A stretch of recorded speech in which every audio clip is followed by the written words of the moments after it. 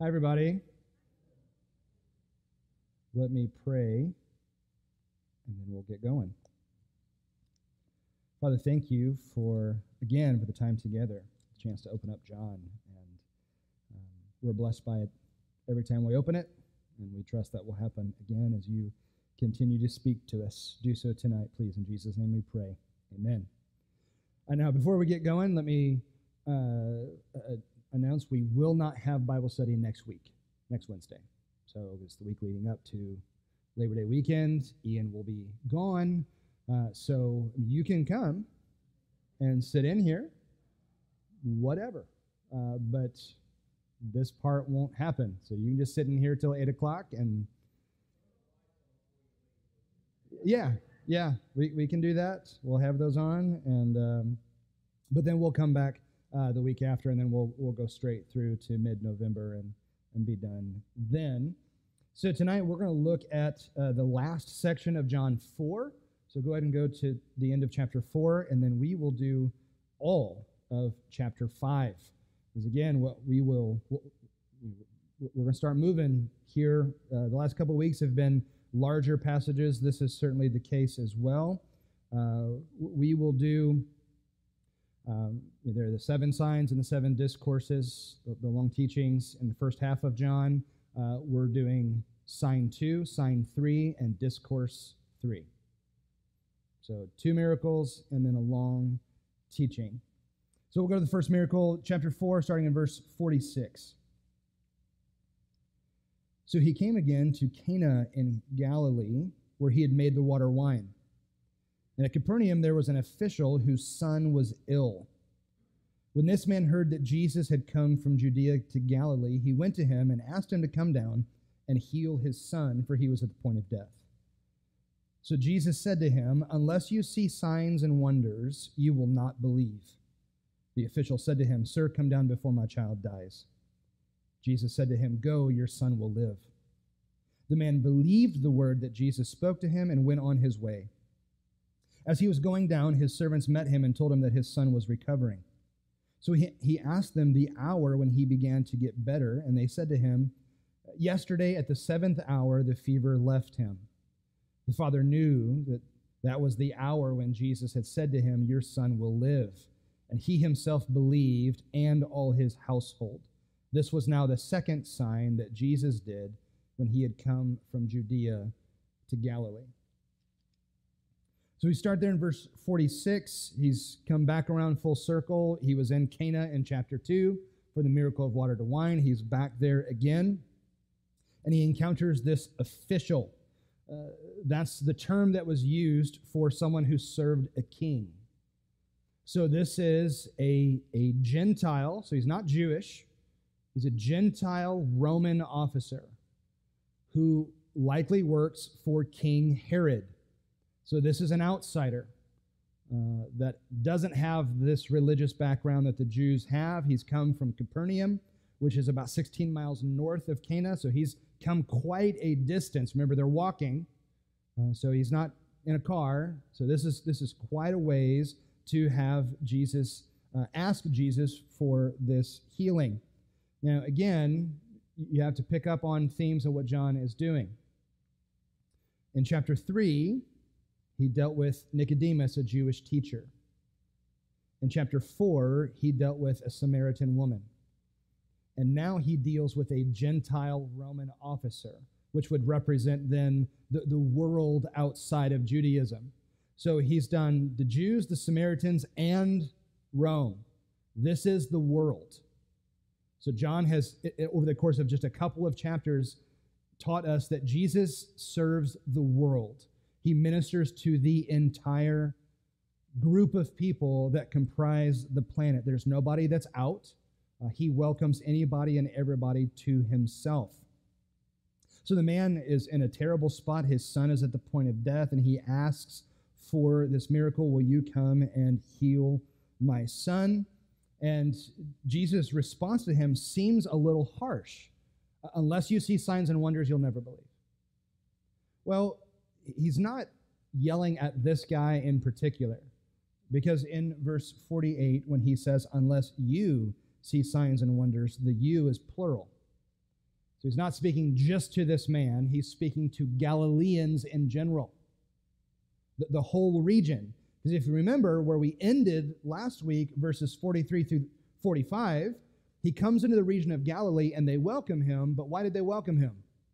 They welcome him because he can do signs, he, he can do miracles for them, not because they believe in who he is or that he's this great Jesus. You can do stuff for me.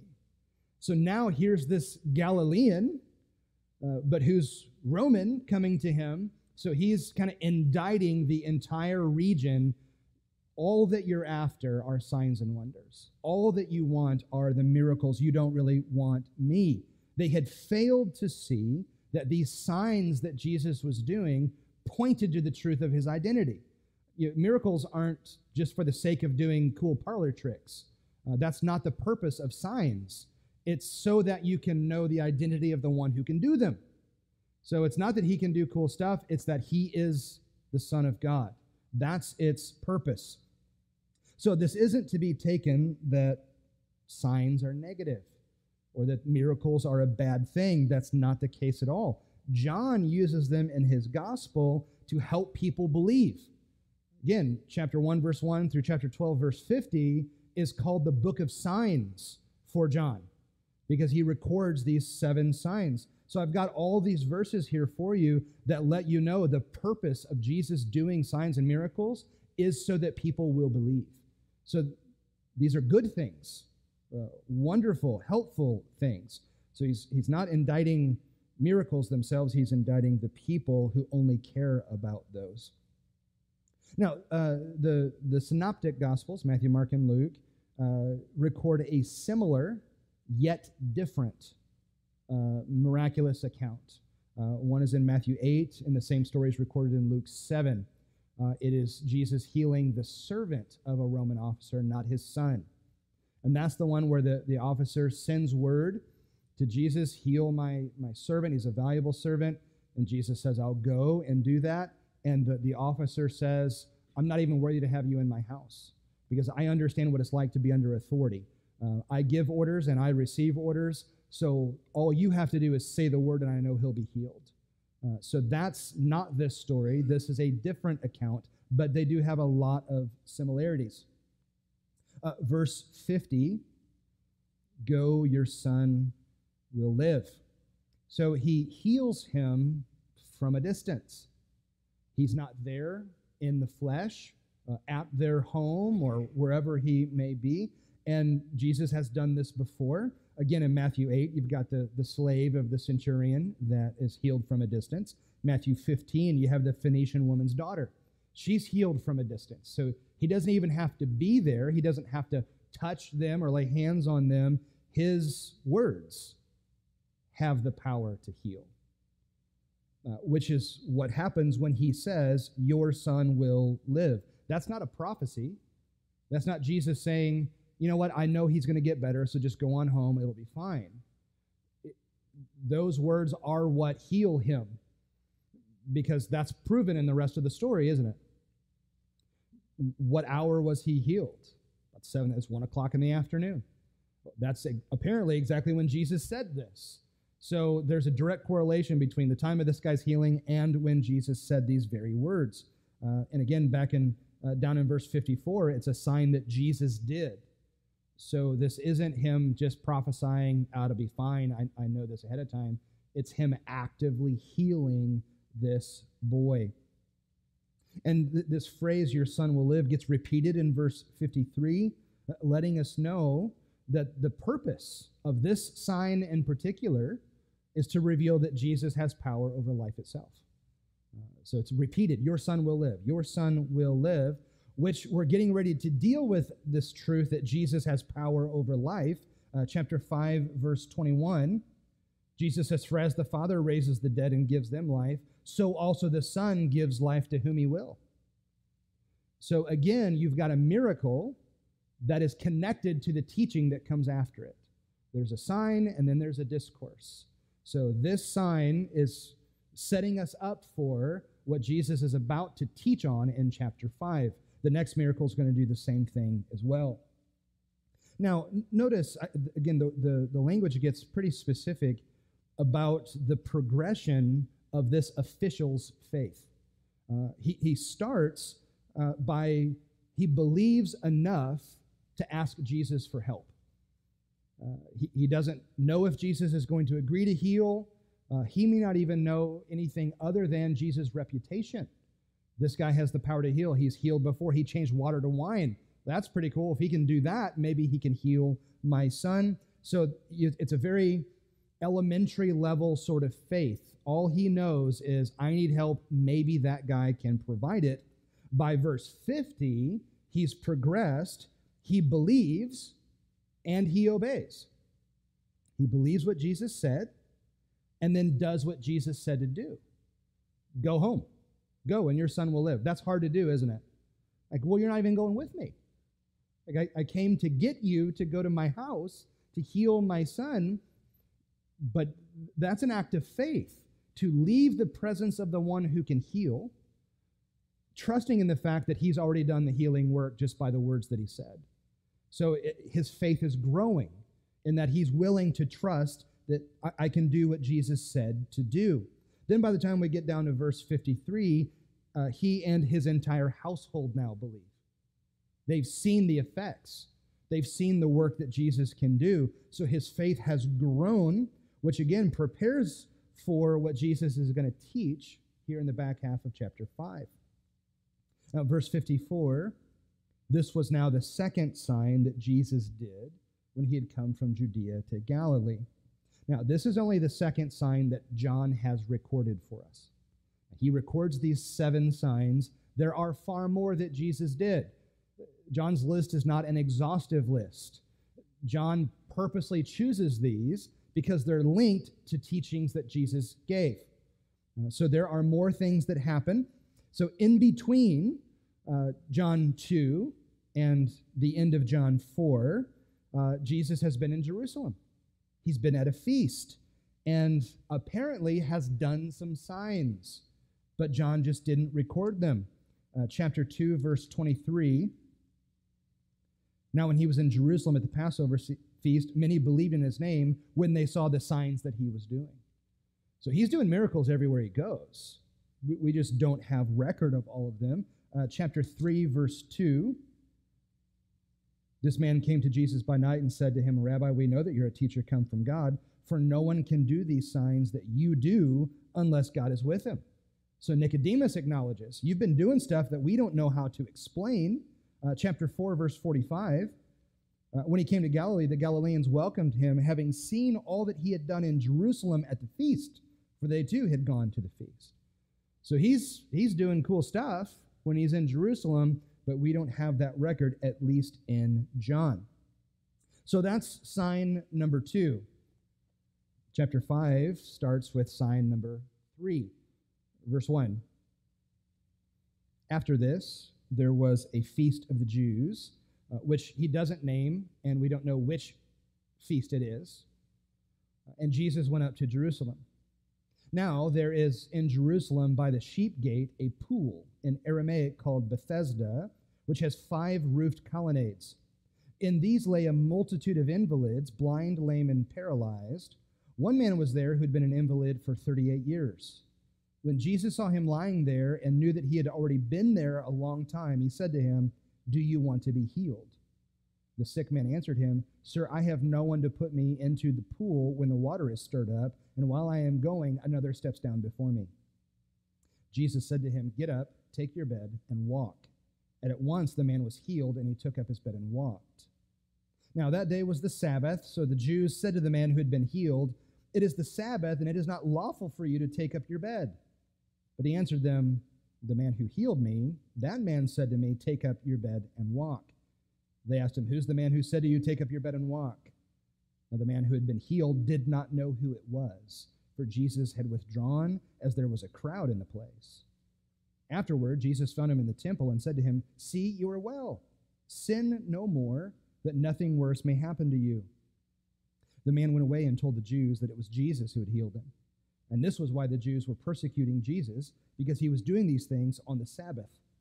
But Jesus answered them, My Father is working until now, and I am working. This was why the Jews were seeking all the more to kill him, because not only was he breaking the Sabbath, but he was even calling God his own Father, making himself equal with God. So we're entering into a stretch of John that is escalating conflict between Jesus and the Jews.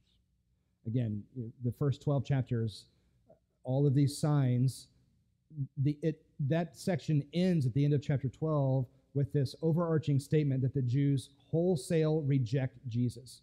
So he's building his case that the religious elite have rejected their Messiah. And in chapters 5 through 10, uh, it's what's called the, the festival cycle.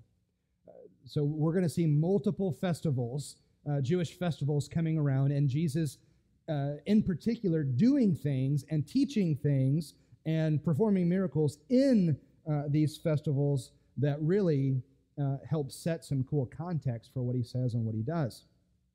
But I want you to notice verse 4. And as you turn there, you notice there is no verse 4. It's been removed from your Bible.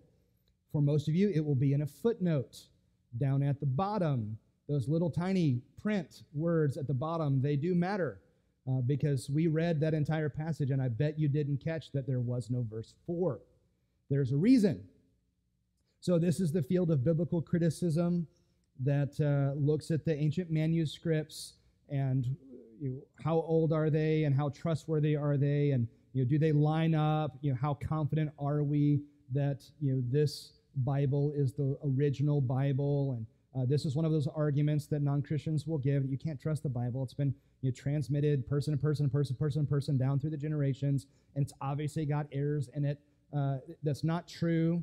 Uh, there are a handful of places uh, where scholars look at the original manuscripts. We have about 25,000 Greek manuscripts uh, from different eras, and they'll look and they'll compare, you know, because older is better. Older equals more accurate because uh, it's closer to the, the time.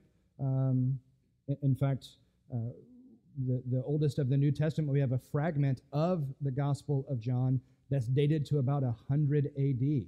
Uh, that's you know, within a decade or so of John writing this. Uh, we've got a, a portion of uh, one of those early copies, possibly even the original.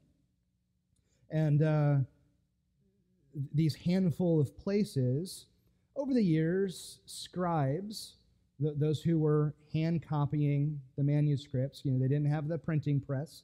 Uh, they're they're not photocopying the pages of Scripture. They didn't have Crossway publishers that you can get on and you can buy uh, a copy of the Bible. If you wanted a copy of a manuscript, you had to pay someone to hand copy it for you. Uh, they were very, very expensive. In fact, only the, the super wealthy uh, had, uh, even like the Old Testament scrolls, only wealthy people had those. Uh, only synagogues in large cities had actual scrolls um, because it was so expensive to have one because it was handwritten. Well, over the years, uh, in some of the margins and in some of the notes, the scribes, with good intentions, I believe, would insert little notes, or they would correct what they thought was a spelling error, uh, because there there are some words that are very close. Uh, you know, one one letter looks like a different letter, and you know, there the way that they would do this was called an scriptorium. Uh, there'd be a room, and there'd be you know ten monks, you know, copying all this, and there'd be one person reading the text, and you're just copying as they read. Well, words run together, and you switch out one letter for another, and all of a sudden, this manuscript doesn't say what that manuscript says. It's very, very common, very simple. Well, verse 4, scholars look at this and believe that some helpful scribe somewhere along the way uh, inserted a nice little note to help us understand what was happening with this water. Because it's weird, right? Uh, the water stirs up, and if you get in first, you get healed. That sounds strange. So, verse 4 uh, says this uh, Waiting for the moving of the water, for an angel of the Lord went down at certain seasons into the pool and stirred the water. Whoever stepped in first after the stirring of the water was healed of whatever disease he had. Well, scholars take that out because in the original manuscripts, it's not John's language. You know, every biblical author has their own style and grammar and language that they use. Uh, for example, uh, First Peter and Second Peter. Uh, Peter wrote both, but the Greek is night and day difference. The Greek in First Peter is some of the best in the entire New Testament because Peter didn't write it. Peter dictated it. And amanuensis wrote it down. That's what they were called. Uh, a secretary wrote it down, dictated as he dictated the letter. Uh, Second Peter, Peter absolutely wrote because it is the Greek of an uneducated fisherman who doesn't understand classical language and grammar structure. A fisherman wrote it. Uh, so they're very different, but they're both from him. Well, John has language that he uses, grammar that he uses, and the that little section does not fit with the rest of the book. We will have this conversation again when we get to the beginning of chapter 8 with a woman caught in adultery, because we'll have to talk about whether that should be there or not, because scholars debate whether it should be. Uh, so we'll have this conversation again uh, and, and why it's left in there versus some other ones that are, are pulled out into, uh, into a footnote. So, what this scribe did was simply let us in on the prevailing legend of the day. The legend is that there's an angel that comes down and stirs the water in this pool. And whenever he stirs the water, if you're the first one in, you get healed. Well, cool. Now it's a race of who can get in the water. Now you've got disabled people throwing elbows at one another to fight to get in the water. Uh, you know, it is not a surprise that the legend centers around angels. Jews were fascinated by angels. Uh, they loved angels, uh, elevated angels to a very high position, which is why the New Testament book of Hebrews purposely lowers angels, because it's written to Christians who came out of a Jewish background who had a very high view of angels. And the author of Hebrews says Jesus is above angels. Angels aren't that big of a deal. They're just ministering servants uh, to those whom Jesus has saved. They didn't do anything. Jesus is the one who did everything, so he lowers them on purpose. So that's all that's going on here. Is there's this legend that uh, this is what an angel's doing in the water. Uh, so early witnesses uh, say that the water in this particular pool was red, meaning that it had minerals in it. So it was believed to have healing properties, properties and even may have had uh, healing properties. And it was likely fed by an intermittent spring, which is why it was occasionally stirred up. The spring opens, flood of new water comes into the pool, the water stirs up, and they start to believe if I get in first, I get healed. Uh, cool little legend, funny little thing. It's not biblical, it's why they took it out, uh, and, and rightly so. So that's what's going on with verse 4. It's why it's not there. Uh, it's not a huge deal, it happens from time to time. Uh, verse 5 identifies this man as an invalid. It's the Greek word for disabled. So there's something wrong with him physically. Uh, it's, it's certainly impacting his mobility he can't get into the water first. Uh, so he, he can't move quickly enough. Uh, somebody's always getting in the water before he does, uh, so he can't be healed. And he's been there for 38 years. That's tough. And you got to love the Bible gives us such little details like that. He's been there for 38 years, which emphasizes for us the gravity of his illness. Like, this is somebody who's likely tried other stuff before. 38 years. And it also emphasizes the genuineness of the healing. Because everybody knows this guy. He's been there for 38 years. Uh, if there was somebody in town who was disabled who lived on a street corner and lived there for the last 38 years, everyone in town would know him. We would know his name. Uh, we'd all have, would have helped at some point or another. It would be somewhat well known in town. That's the case here. Uh, this happens again in Acts chapter 4 uh, verse 22, where the, the, the Bible emphasizes uh, this man whom is healed had been disabled for 40 years because they're highlighting hey, this is legit. Everybody knows that this guy's been disabled and now he's not. Uh, verse 6 Jesus saw him lying there, knew that he had already been there a long time. So we're talking about some divine foreknowledge here. Jesus knows his background without ever having known him before. Uh, we've already seen this uh, in chapter 1, verse 48 with Nathanael. Uh, you know, I saw you under the tree before you came. And I mean, I, I, know stuff about you, Nathanael. We saw it in chapter 4 with the Samaritan woman. He, he knows she's had all these husbands, knows that she's living with the guy that she's not married to. Again, th- this is Jesus' divine side coming out.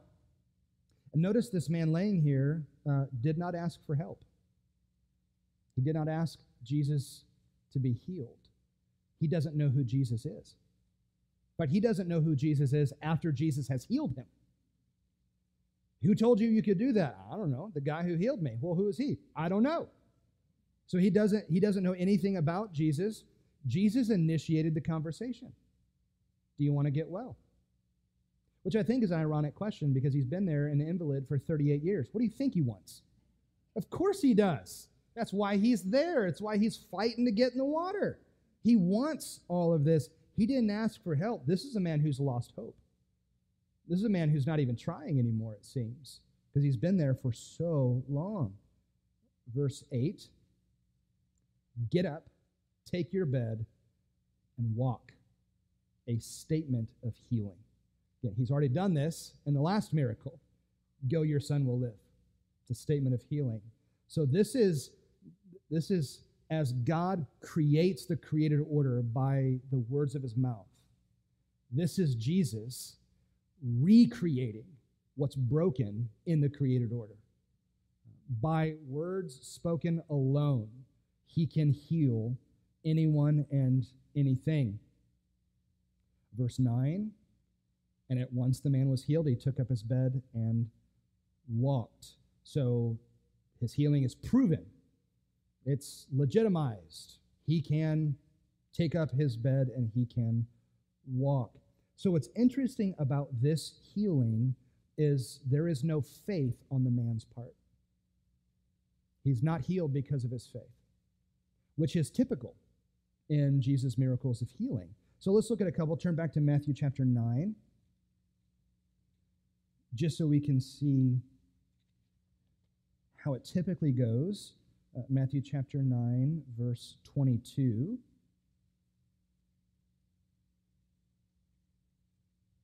This is the woman who has the issue of blood. She's been bleeding for 12 years. Jesus turned and seeing her, he said, Take heart, daughter, your faith has made you well. And instantly the woman was made well. Uh, turn over to Matthew 13, verse 58.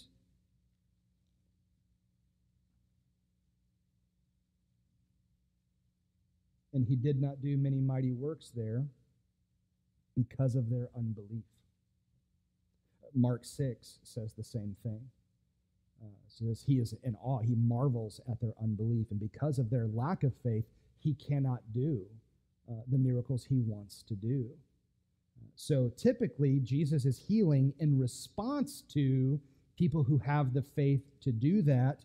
Uh, that is not true with this man, uh, which shows this whole idea of you, if you just have enough faith, the Lord's going to heal you. That's absolutely not the case uh, because that's absolutely not true here. So the emphasis then of this miracle is not on this man's faith, the emphasis is on Jesus' power. He can do it with, a, with or without you. He can heal you whether you believe in him or not. He can heal you whether you know who he is or not. He has that power. Again, the emphasis is on his power to do whatever he wants to do.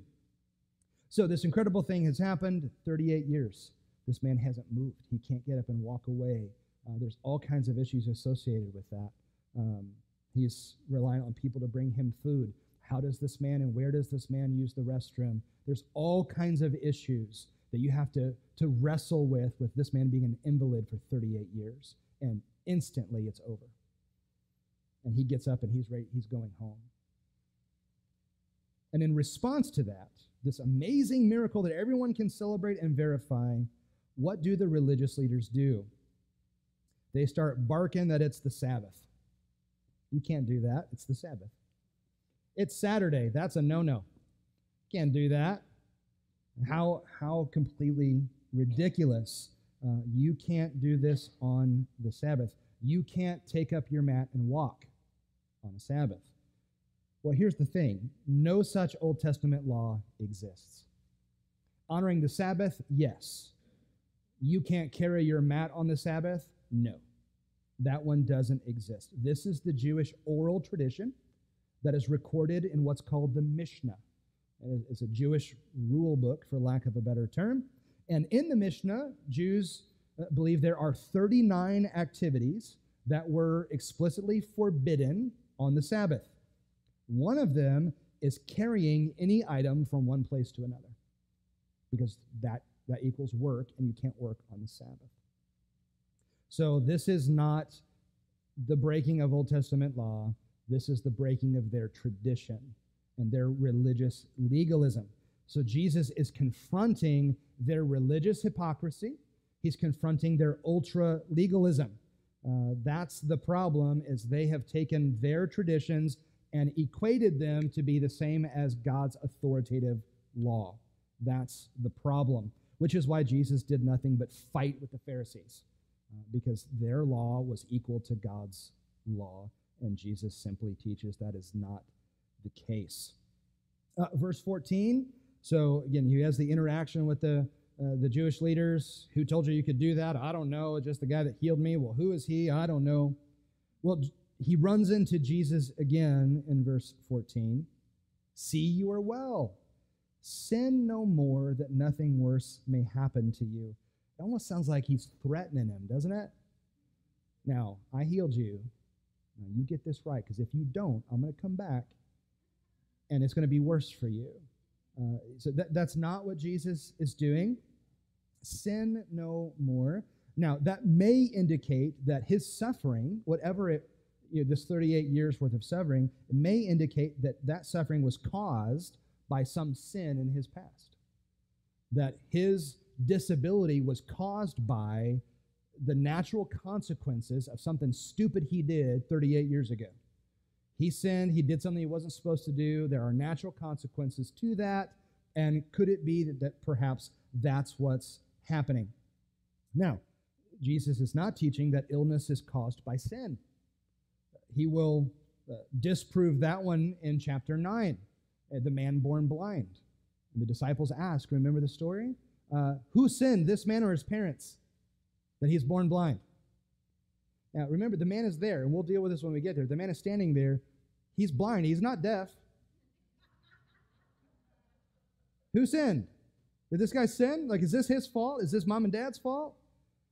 And Jesus says, no, that's, that's not the case. This is so that God's glory can be shown in what Jesus is about to do. So, illness isn't necessarily caused by sin, but illness and disability can absolutely be caused by the natural consequences of your sin. Um, you know, my, my father has dealt with cancer for seven years now, um, on and off, and multiple surgeries, and still trying to figure out what's, what's causing all these issues. My dad smoked for 50 years. Natural consequence of your foolish decisions equal this. So, can he say, Man, I just got a, a bum rap? You know, God's out to get me. He's like, No. No, this is what you did.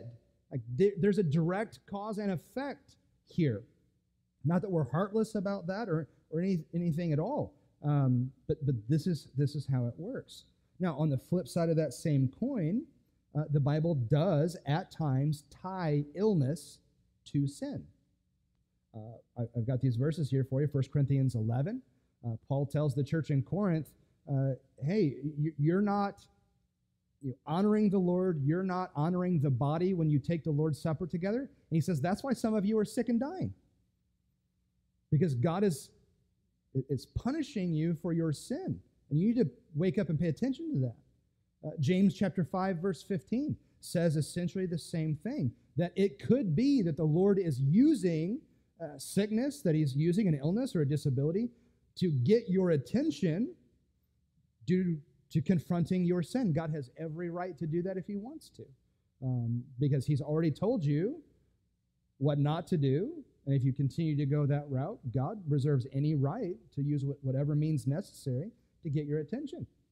Notice what He did in the Old Testament with Israel and Judah. The Assyrians destroy Israel, the Babylonians destroy Judah.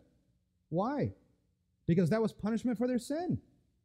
All these people died. They got carted off in exile because they wouldn't listen. And God said, if you don't listen, this is going to happen. And they didn't listen. So it happened. It's how God works. He reserves the right to do that. Sin no more, or something worse may happen to you. This is an invitation to salvation. Something worse may happen to you. He'd been healed, he did not have faith in Christ. You think disability for 38 years is bad? All that you're looking forward to is eternal destruction in hell. You don't have faith in Christ. You don't even know who Jesus is. That is far worse than any illness or disability you've ever dealt with.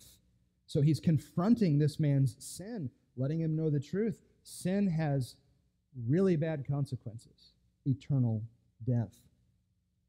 Now, verse 16, again, they, here's what Jesus says, you know, sin no more. The man went away, rats Jesus out to the Jews. Verse 15, it was Jesus who did it. Verse 16, this is why the Jews were persecuting Jesus. The verb tense tells us that it's an ongoing persecution. So this isn't a one time that, hey, they didn't like what Jesus did, so they persecute him for doing it. This is why the Jews continually persecuted Jesus. Um, he, he, and oddly enough, Jesus is the one who's actually fulfilling the Old Testament law, doing good on the Sabbath, loving your neighbor well, initiating good things in the lives of the people around you. Jesus is the one who's honoring the actual Old Testament command. It's the Jewish leaders who are the ones who are actually betraying and dishonoring the Sabbath by saying, You can't, we're not even going to celebrate your healing.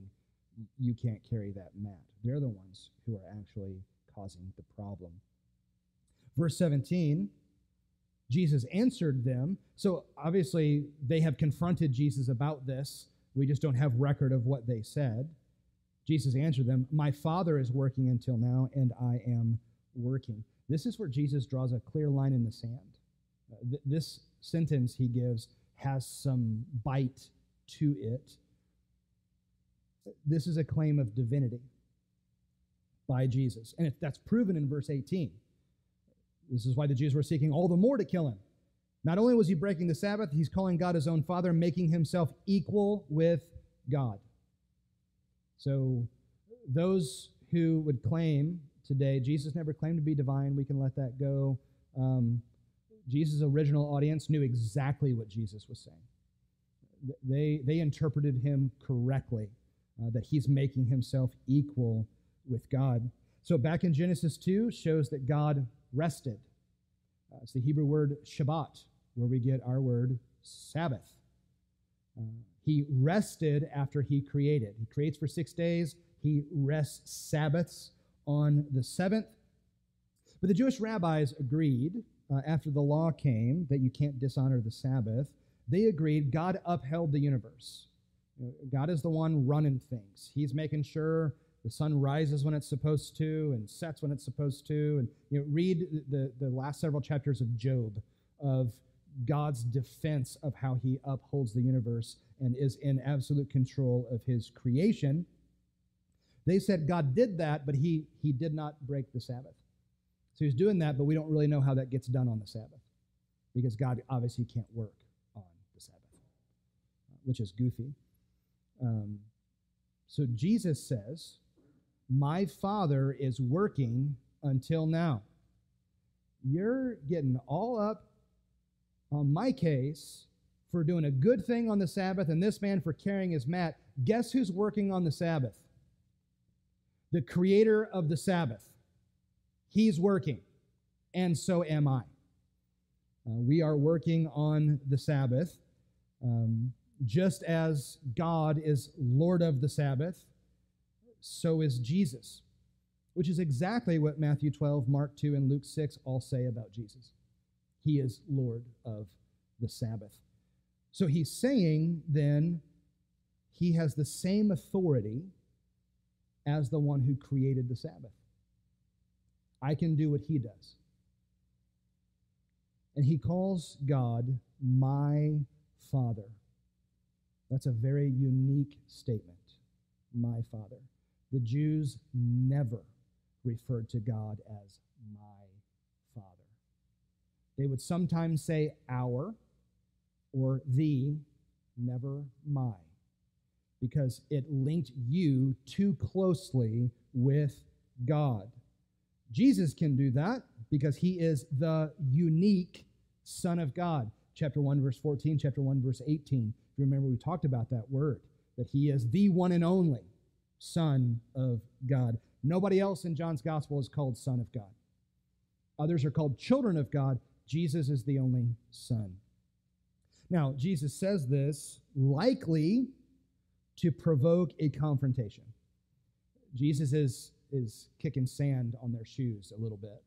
Uh, so he's, he's getting them ready for this unleashing of what he's about to teach them in the back half of chapter 5, because he's going to launch into a full scale argument of his divinity.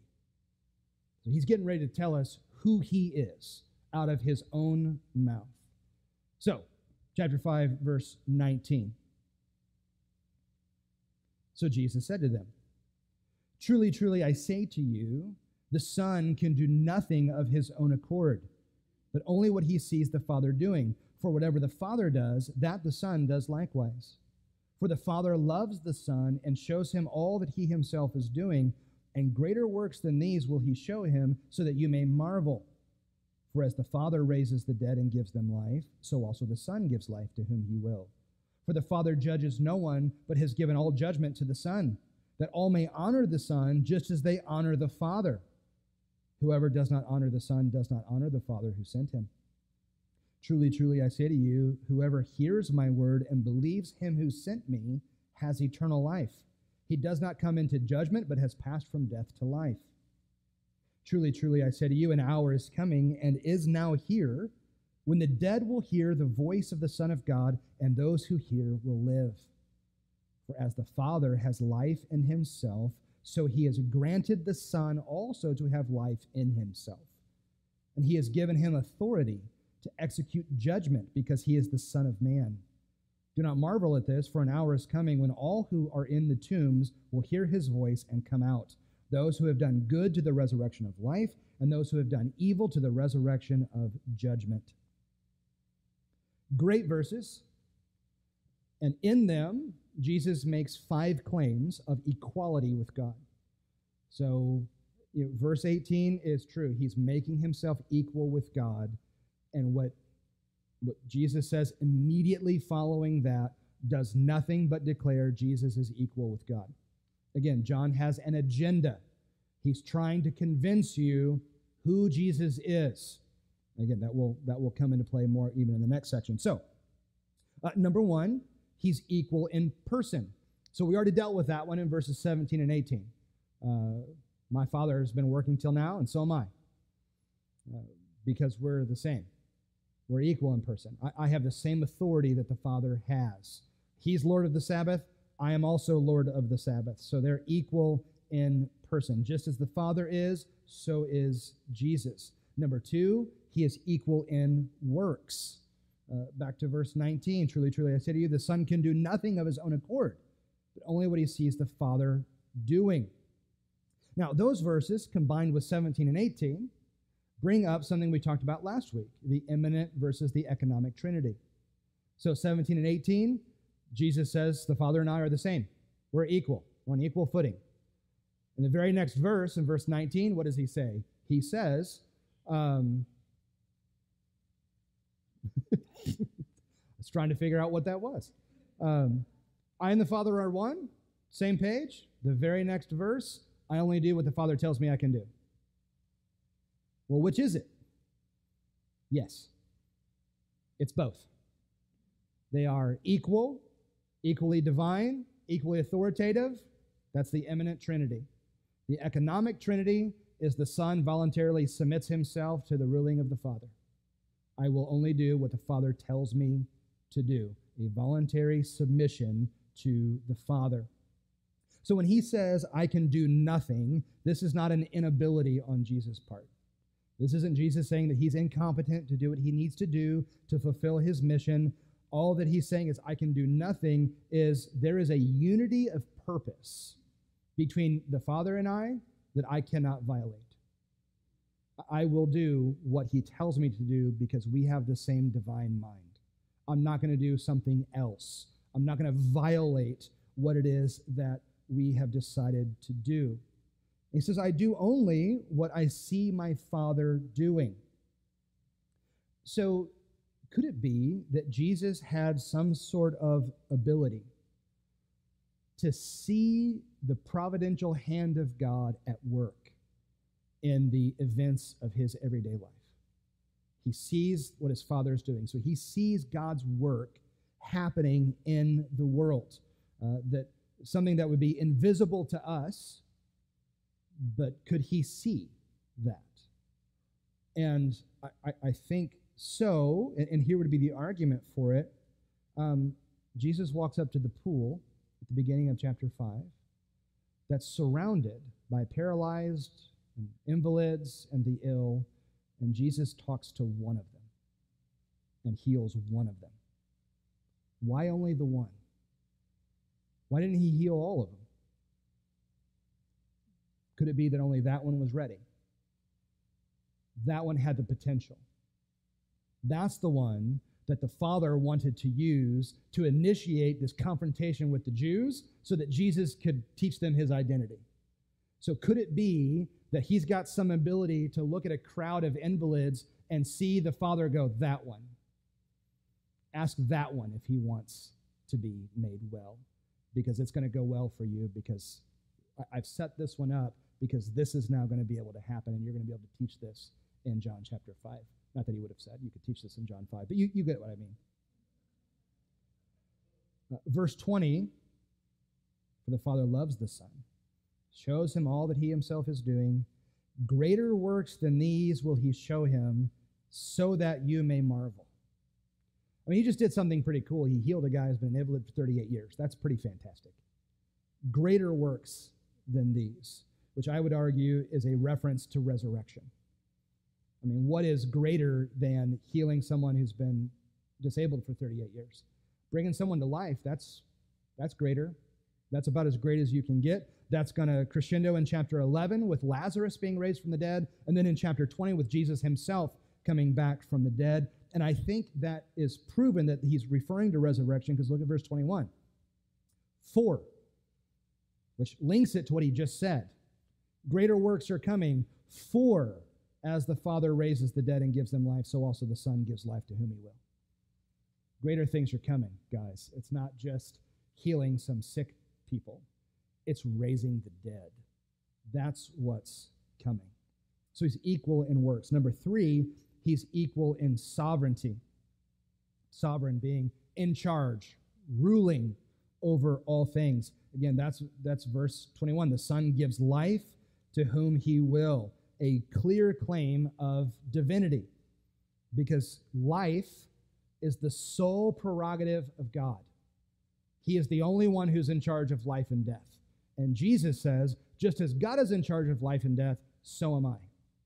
Again, he's making himself equal. Uh, turn back to Deuteronomy 32. It's always fun to go back to Deuteronomy. We don't go there very often.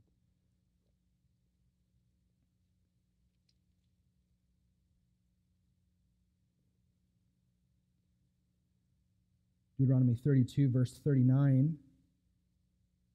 See now that I, even I, am He, and there is no God beside me. I kill, and I make alive. I wound, and I heal, and there is none that can deliver out of my hand. Turn over to 1 Samuel chapter 2.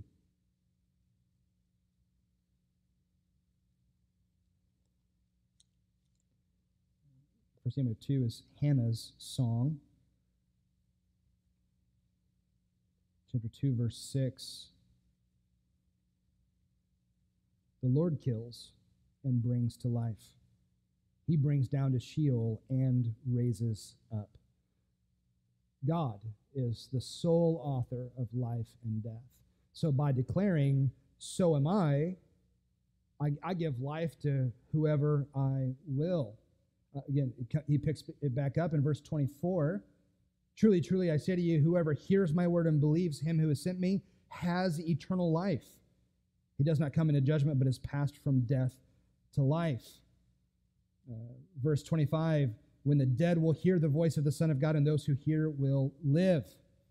For the Father has life, and has granted the Son to have life. Verse 26. So, has eternal life. Not will have. We talked about this last week. Present tense, new life. Now, eternal life doesn't start when you die, eternal life starts when you become a Christian.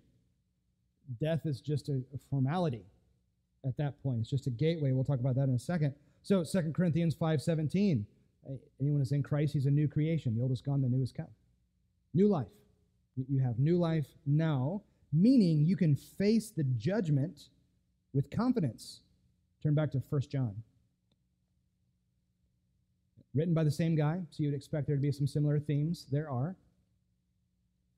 So if if eternal life starts for you now, what then is death? Death's just a transition from this form of life to the next one, and nothing more. So then there's no need to fear it. We don't fear death, we don't fear judgment because we are in Christ. So here's how John puts it 1 John 4, verse 13. By this we know that we abide in him and he in us, because he's given us of his Spirit. And we have seen and testified that the Father has sent his Son to be the Savior of the world. Whoever confesses that Jesus is the Son of God, God abides in him and he in God. So we have come to know and to believe the love that God has for us. God is love. And whoever abides in love abides in God, and God abides in him. By this is love perfected with us, so that we may have confidence for the day of judgment. Because as he is, so also are we in the world. There is no fear in love, but perfect love casts out fear. For fear has to do with punishment, and whoever fears has not been perfected in love. We love because he first loved us. So you because you have eternal life, you've experienced the love of God in Jesus Christ, that love has perfected you. That love has transformed you to the point now where you're not dominated by fear. You don't live based on fear anymore. You don't even fear death. You don't fear the final judgment. Why? Because the judge that you stand before is the Father who loves you. You don't need to fear that day. Chapter 5, verse 11 of 1 John. This is the testimony that God gave us eternal life, and this life is in his Son. Whoever has the Son has life. Whoever does not have the Son of God does not have life. I write these things to you who believe in the name of the Son of God, that you may know that you have eternal life. He didn't say so that you would believe that you have eternal life but that you would know it. A confidence that comes from a relationship with the Lord that, that takes you all the way through death and the final judgment. Uh, verse 25, again, referencing uh, back to John 5, uh, verse 25. Um, An hour is coming and is now here. So he's not talking about some future day, he's talking about now. It is now here. So he's not talking about final judgment. He's talking about those who are spiritually dead now are going to hear his voice and they will live. The ones who respond to his voice will live. He's going to talk about final judgment here in a minute, but that's not what this is talking about in verse 25. The dead will hear the voice of the Son of God. Those who hear will live. Those who respond to him live even though they are spiritually dead now. Verse 26, I think, explains verse 25. For as the Father has life in himself, so he has granted the Son also to have life in himself. So that truth, that, that he has life in himself, expounds the truth from chapter 1, verse 4. In him was life, and that life was the light of men. So, this is the doctrine of God's self existence. God was not created. He's always been. He has life in himself. Jesus has life in himself. He is not a created being. Um, I, I, was just looking at it today for um, a different purpose for some sermon stuff uh, for Sundays. And uh, I read again in, in 20, I want to say it was 20, a few years ago. Um, there was a landmark study that was done by an organization called Ligonier, uh, where they do what's called the state of theology. And it, it just, it's, it's a theological survey that they do of America. And uh, one of the, the, the positives of it, there, there aren't that many positives in the study. Uh, it just kind of makes you sigh and lament over the state of uh, what people actually believe in our country and what Christians actually believe in our country. Uh, one of the high points is 70 uh, something percent believe in the Trinity, which is insane because 0% can explain that. But, but they, they believe in God who is Trinity. But the majority of those people believe that Jesus was the first and greatest created being, which is a heretical view. That's not true. He was not a created being. He has life in himself, he is self existent. Uh, so, this life that Jesus promises is new life now and resurrection at the final judgment. And I've got those verses from 1 Corinthians 15, 1 Thessalonians 4, Daniel 12, referencing um, this eternal uh, final judgment and what God is doing with life there at resurrection. Uh, number four, Jesus is equal in judgments. Again, back to verse 22. For the Father judges no one, but has given all judgment to the Son. It's another claim of divinity because only God is the judge. Only He has the right to, to judge. Genesis 18 15, when Abraham is arguing with God about whether God's going to destroy Sodom and Gomorrah, you know, if you find 50 righteous people, will you not destroy it? Sure, I won't destroy it for 50. Well, what about about 40. Okay, I want to, well, what about, what about 30? What 35? What 20? Can I hear 20, 25? How, you know, can I hear 15? And down and down and down it goes. And he whittles them all the way down to 10. Um, and apparently he didn't find 10 because God blew up Sodom and Gomorrah. But what, what Abraham says to him in Genesis 18 25 is, Will not the judge of all the earth do right? Are you going to are you going to sweep away the innocent with the wicked? Will not the judge of all the earth do right? Um, only God is the judge of all the earth. But he's turned it over to Jesus. Look at verse 27. He's given him authority to execute judgment. Why? Because he is the Son of Man. That's a direct reference to Daniel 7 13. Uh, that's not Jesus just saying, I'm human too. I was born from human parents. The Son of Man is a prophecy out of the book of Daniel, which we'll get to here. Uh, we start Daniel here in just a few weeks on Sundays. It, it's getting close, September 20th. It's, it's coming. Uh, and, and the Son of Man, and when you read Daniel 7:13, is the eternal ruler. He's given dominion forever over the earth. So why can Jesus, the Son of Man, be the judge? Because he's the eternal sovereign ruler over all the earth. That's why. So he is the judge. Uh, verse 29 those who have done, they, they will come out of their tombs. Uh, again, that's the, the, the final judgment. And they will come out, those who have done good to the resurrection of life, those who have done evil to the resurrection of judgment.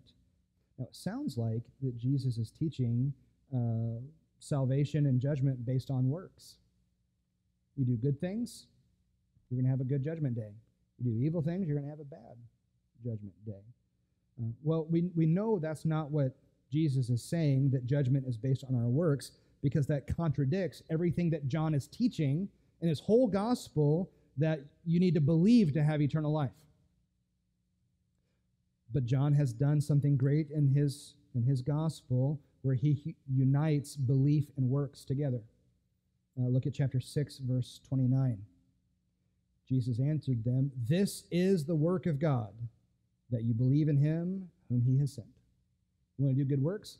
Believe in the Son. You want to be evil? Reject him. The good works that bring about good judgment is the embrace and acceptance of Jesus Christ. The evil works that get you a bad judgment is a rejection of Jesus Christ. Number five, Jesus is equal in honor. Go to verse 23 that all may honor the Son just as they honor the Father. Um, this is Jesus showing his right to be worshiped. Now, if Jesus isn't equal with God, they should have killed him on the spot because of his claim there that I should be honored in the same way that God is honored. You should worship me like you worship God. That's blasphemy. How dare you declare such a thing? That you are on equal level of worship and honor with God? Yes, because I am God. And, and with that, I think Jesus turns their accusations back onto themselves. You know, they've accused him of blasphemy. Uh, that, that's the crime that gets him sentenced to death, is blasphemy. He's made himself equal with God. He turns it back on them by denying the Son. The Jews were the ones who were blaspheming the Father. Because if you honor the Son, you honor the Father. If you reject the Son, if you dishonor the Son, you dishonor the Father. So by rejecting Jesus, they're the ones that have been blasphemous, not Jesus. So that's the five statements of equality uh, with the Lord. So Jesus has been very clear. Um, I, I and the Father are one, which he will say verbatim later on in John. So let's look at the last section here, verse 30. I can do nothing on my own. As I hear, I judge and my judgment is just, because I seek not my own will, but the will of him who sent me. If I alone bear witness about myself, my testimony is not true. There is another who bears witness about me, and I know that the testimony that he bears about me is true. You sent to John, and he has borne witness to the truth. Not that the testimony that I receive is from man, but I say these things so that you may be saved. He was a burning and shining lamp, and you were willing to rejoice for a while in his light. But the testimony that I have is greater than that of John.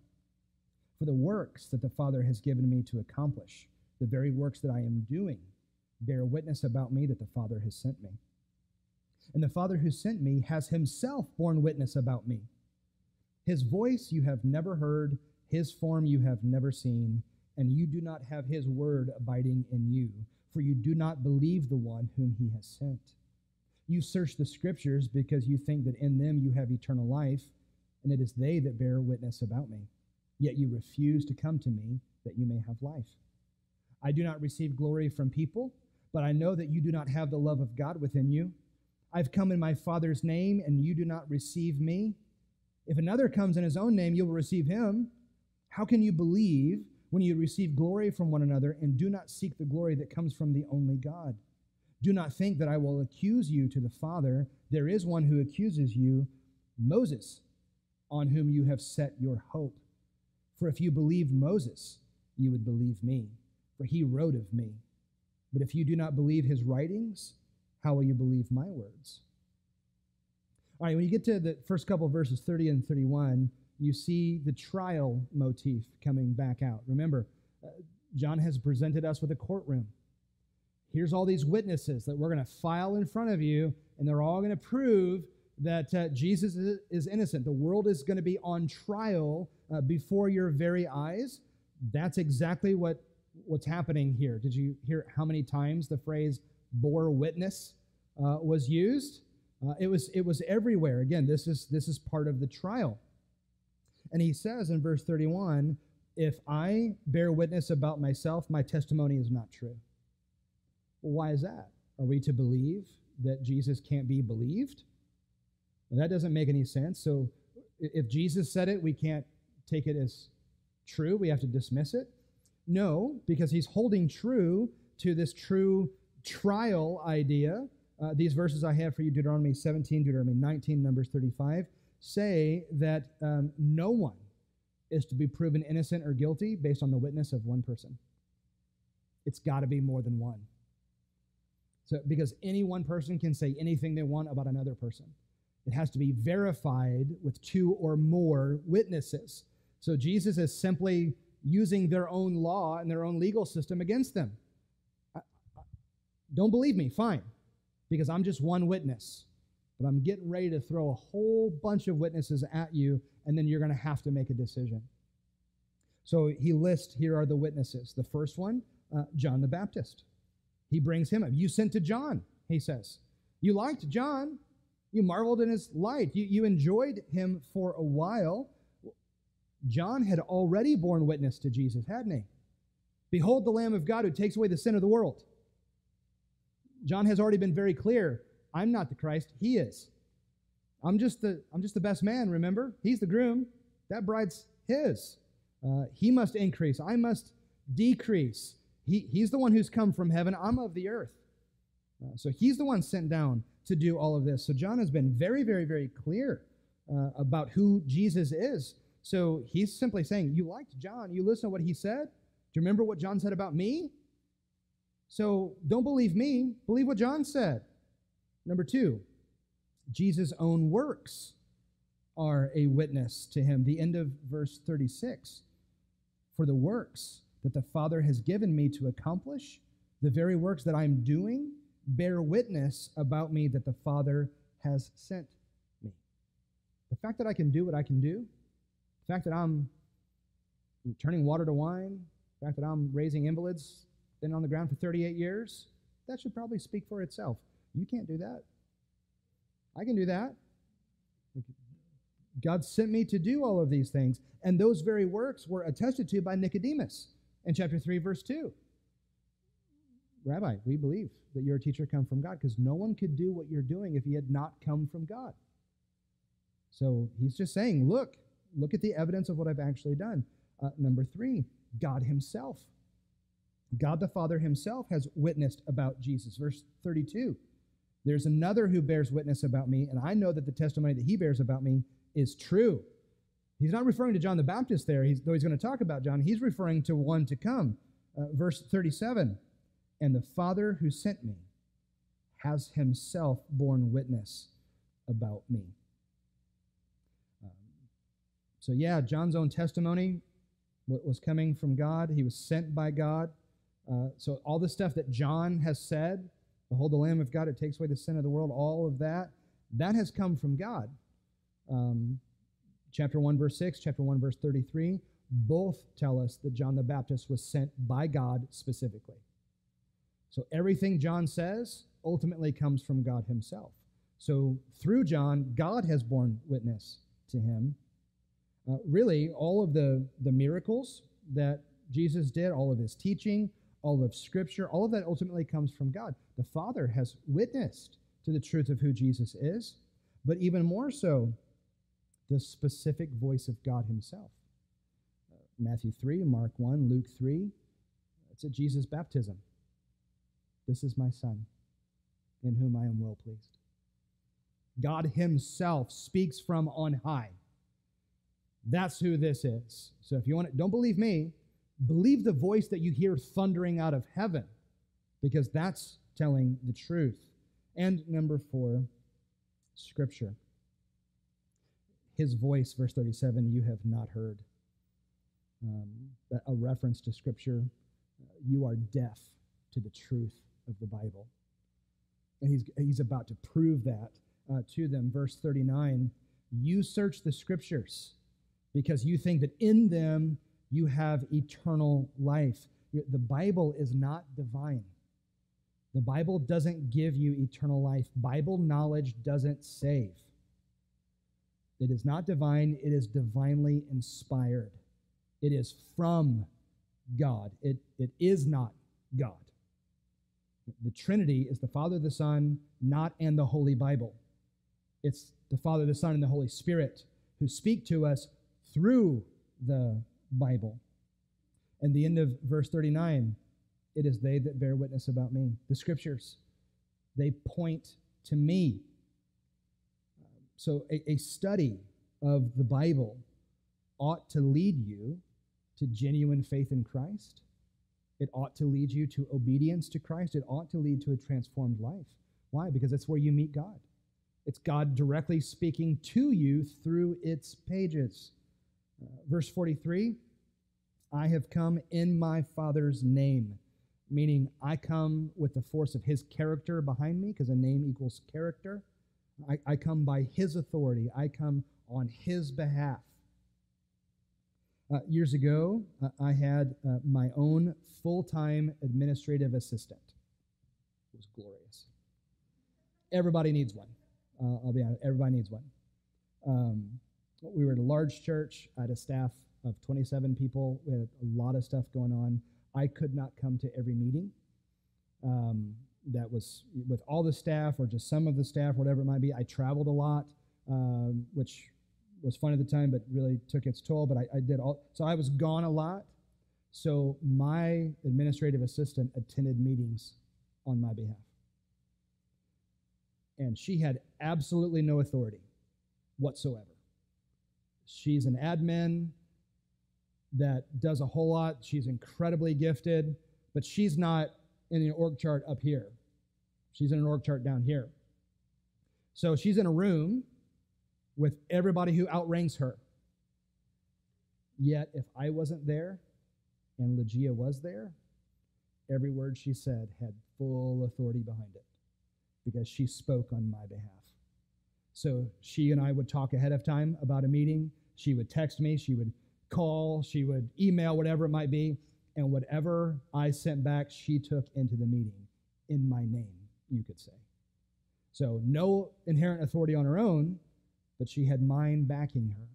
So, not that I'm a big deal, but I was in charge of the staff. So, she's there speaking for that's what Jesus is saying. I, am here for him. So, when I speak, it's him speaking. When I tell you to do something, it's his authority that's saying that. And that is not to be taken lightly at all. And he says, You've rejected me. Um, it, he said, if, if another comes uh, in their own name, you'll, you'll accept them. Uh, and that happened.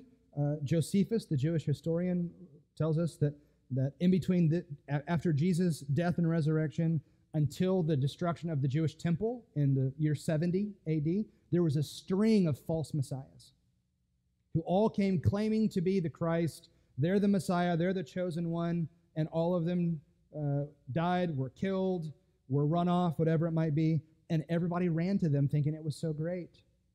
And here Jesus says, You have the real one here, and you reject me, but all these guys coming in their own name with no authority behind them, you'll believe them. It makes no sense at all.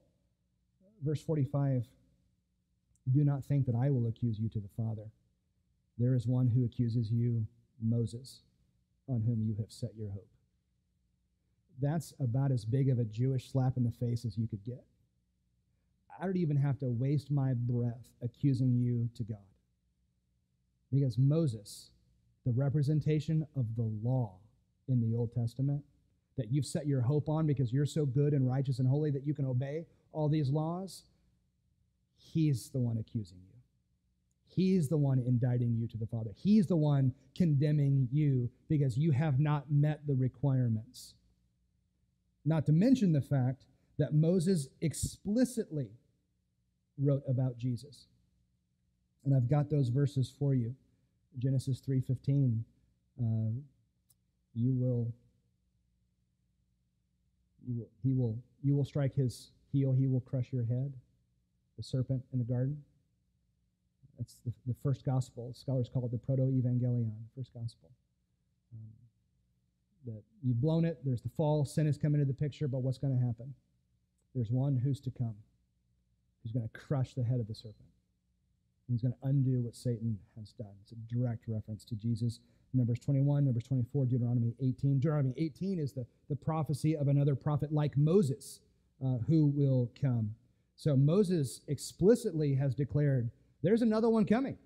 So if you reject Jesus, what have you done? You've rejected Moses. You've rejected the entire law. You've rejected the Old Testament that has has talked about me coming all this time. Uh, verse, uh, the end of verse 46 for he wrote of me. So I've got all these verses here for you um, that, that lay out here's how the Old Testament all points to Jesus. We've talked about that before, so we're not going to uh, go into that again. Um, but the purpose of Scripture, friends, is to point to Jesus, to get you ready for Him. So that's uh, that's the two miracles. That's the big uh, teaching time of chapter five.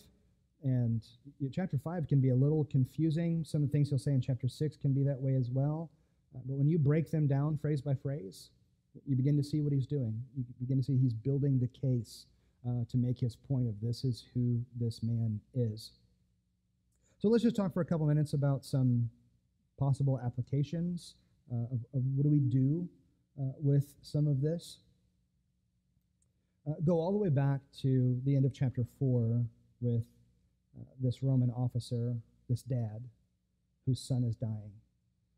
He's traveled, he's walked 16 miles to find Jesus, uh, not even knowing if Jesus would even be there, but he happens to intersect his path and brings the issue My son is dying, will you come? Uh, Jesus kind of mouths off about seeing signs. Please, sir, please come, or he'll die. And Jesus says, Go, he'll live. And the guy has to turn and walk away. How, mean, put yourself in that dad's shoes, how hard it must have been to turn around and walk away and go home in full trust that what this guy said is going to come true. That's tough. So when you bring a problem that you have to the Lord, you're praying about this, you're discussing this with him, you're yelling at him about it, whatever it is that you're, you're doing, bringing something before him, how hard is it for you to leave it with him? Or do you, you bring your problem to him and you bark for a while about whatever problem it may, coworker, who knows? Um, and then after praying about that, you say amen, you just take it back with you so you can keep barking about it. You can keep complaining. Um, you can keep being frustrated. Isn't it hard to take something to the Lord and leave it there and turn and walk away from it?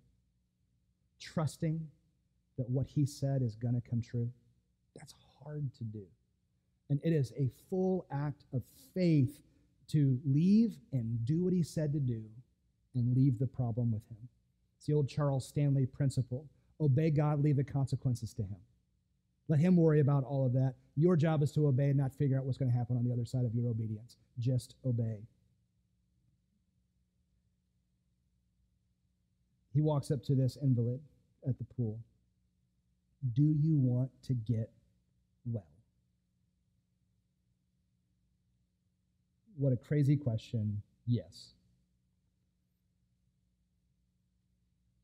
But I encounter so many people, and I know that you do as well, that you just want to sit down and, and ask, do you really want to get well? Do you, do you really want a, a change in your life? Do you really want to get better? Because it doesn't seem like you do. Do you want to get well? Because Jesus is the source of wellness. He can be the source of healing, sure. He doesn't ever promise that. We don't we don't get this guarantee that you know, whatever is wrong, it's going to go away. He might be using it in a, a very different way. We don't know that. He is the source of life. He's the source of hope. He's the source of peace. He's the one that makes well. So we go to him. Um, reading a, a, biography of John Wesley. And fascinating, absolutely fascinating guy. Um, tremendous what he did. Um, John Wesley and his brother Charles both served uh, in ministry. They were priests with the Anglican Church for years and years and years before they actually were converted and became Christians. Um, they knew a lot of religious stuff. They they knew all the things. I mean, they led churches for crying out loud.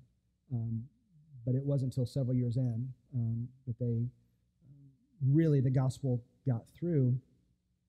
Uh, Peter Böhler uh, shared the gospel with them. He was the first one to actually share the gospel with them and, and tell them um, it is not your obedience and your perfection that gets you to God. It is, it is His grace. Um, he, he wants life for you. And Uh, and one of the things that he told the Wesleys was a, a, a the, the marks of being a true Christian are holiness and happiness. Because that's what Jesus produces in you. He produces a holiness in you. Um, you want to obey him. You want uh, to to do what he says to do. There's that desire that he creates within you to do that, the enablement to do it. We'll talk about that uh, on Sunday as well. But what he produces in you as well is, is happiness because he's the source of peace, he's the source of joy, he's the source of hope. All of those things that we would equate to the word we use of happiness. Um, so if you are not holy, you are not happy, guess what you're not? You are not a Christian because that's what he produces in his people. Uh, yeah, I think of this uh, this man who's been an invalid for 38 years. Um, that's a long time to suffer. Don't lose hope, because then this one day comes where Jesus shows up. A guy doesn't even know, speaks a word, and he gets up and goes home. So after 38 years of agony, Jesus can turn around in an instant. Um, and he may not want to do it until that day. And it may take 38 years to get you ready for what the Lord wants to do. He wants to do it, you, you just can't handle it. So don't give up hope because you never know what he'll do. Uh, he's given us eternal life now. I mean, how many of us can say we live in that reality every day? That I view my life today as one one more day of the eternal reality that I get to live in. Um, that the, the holiness and the happiness of eternity permeates my life even now. How, how, can, how many can actually say that? I, I pray that we can move that direction. Uh, because of that, we can face death, we face judgment with confidence. We're not scared of death. We're not scared of COVID. We're not scared of riots. We're not scared of an election. We're not scared of these things. We don't live based on fear with these things. Why? Because no matter what happens, we're with the Lord forever. Uh, no matter what happens, it turns out really well for you. So it's okay. Um, all of these witnesses that, that Jesus lays out that, that testify to the truth of who he is, um, do you do that? Are, are you a witness to the truth of who he is? Acts 1 8, you will be my witnesses in Jerusalem, Judea, Samaria, to the ends of the earth. And uh, to no surprise, um, we to talk about the Bible and why you should study it more. Um, it, it speaks of him. You want to know him, you want to have a relationship with him, read your Bible. Uh, don't get caught up in religious experiences. Uh, don't don't do all these other crazy things in the name of don't seek after em- emotional experiences. Pick up your Bible and read it, and He will meet you there, and you will develop a relationship with the Lord through its pages. Um, daily, regular Bible reading, Bible study, coming to things like this, multiple things that are uh, you know, small groups, classes, all the stuff that, that churches do. There's a reason we do that. And it's not because we're a church and we're supposed to, and we're supposed to take up multiple nights of your week. Otherwise, you'll get, you know, you'll, you'll turn into wretched sinners if we don't take your time. Uh, multiple evenings. That's, I mean, that might be true, but we we do these things because every environment we can have to expose you to the Bible is good. Every environment that exposes you to the Bible, whether it's at your house or here, is a good thing to be a part of. Um, because as many Bible env- environments as possible is good for your soul. Um, every single study ever done about spiritual growth, every single one, unanimously declare regular Bible reading and Bible study is the number one factor that grows your faith. The number one factor. In fact, based on a handful of those studies, now it, it is the practice to be involved in that fuels all of the other ones. If you want to pray more, do you want to do other spiritual disciplines that grow your faith? It is the Bible and your engagement with it that fuels you doing all of the other ones. So don't practice all of the other ones just to try to figure out which one works. Start with the Bible first and let it fuel the rest of it. Because it will grow your soul. And if you are ignoring uh, the Bible or uh, acting as if you already know enough of it, you are only fooling yourself. Um, you are deceiving yourself, uh, and you are missing out on so very much that you could have of God that you don't currently have. Um, he's given it to us for crying out loud. You each probably own 10 or more. Some of us have Bible fetishes and addictions, and we have way too many copies uh, of it, digital and print. Um, got them all. Um, and then you can get apps that have like all of the translations ever. Tremendous. Um, you've got it. Just don't ignore it. Let's pray. Father, thank you for, again, the time together and to be able to open up Scripture together. And we know what it does it, it feeds our soul, um, makes us better. You use it by your Spirit to conform us to the likeness of Jesus Christ. What an incredible gift. Um, it's not just a book that tells us facts about you. Um, we meet you there, and you form us through it. Um, how amazing that is. So thank you for the chance to study it and to dig more deeply into it. And thank you for its truth that engages the mind, the, the truth as well that lets us know exactly who Jesus is. We don't have to try to figure that out. We can open up and see passages like John 5, where Jesus tells us in his own words exactly who he is, so we can have uh, right belief, right faith in the one true God of the universe. Uh, bless us as we go. In Jesus' name we pray. Amen. Love you. See you Sunday.